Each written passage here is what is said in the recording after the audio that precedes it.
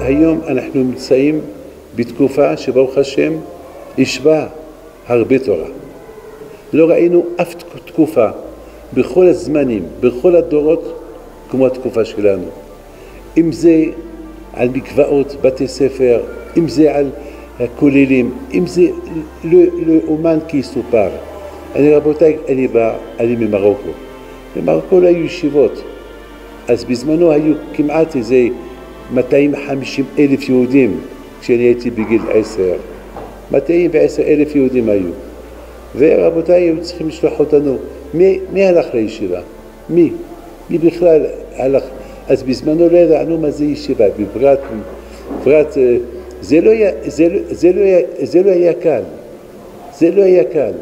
היום ברוך השם הכל בקלות, היום מוסדות, היום בארץ המצב כל כך קשה, יש הרבה מלחמות ואנחנו חיים בתוך מלחמות והישיבות ברוך השם כל הזמן שומעים פותחים ופותחים ופותחים ופותחים. פלא פלאים, לא יאומן כי סופר התקופה שלנו היא תקופה מבורכת. מצד אחד בארץ רוצים ל, ל, ממש לסגור את הישיבות, רוצים לעשות מבני תורה אנשים אה, שילכו לעבוד, אבל רבותיי, וכאשר יענו אותם, כן ירבה וכן יפרוץ. אבל רבותיי, אם שאלתם לעצמכם למה הדור שלנו הוא יתברך ככה בהרבה בני תורה, פשוט.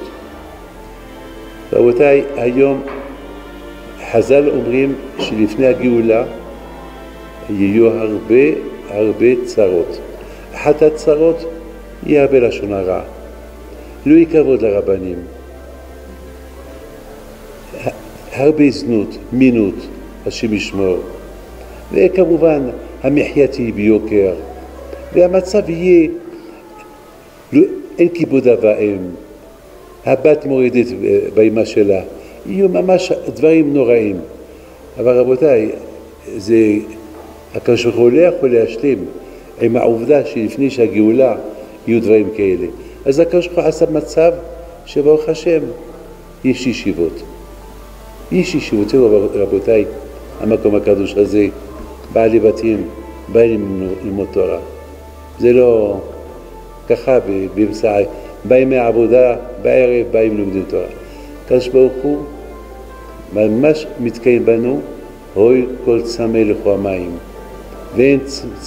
ואין צמא אלא מי שצמא לתורה, מי שרעב לתורה. והיום מגישים את הרעבון לתורה, מגישים את זה, רואים את זה. וזה רבותיי אחד הסימנים הגדולים של הגאולה.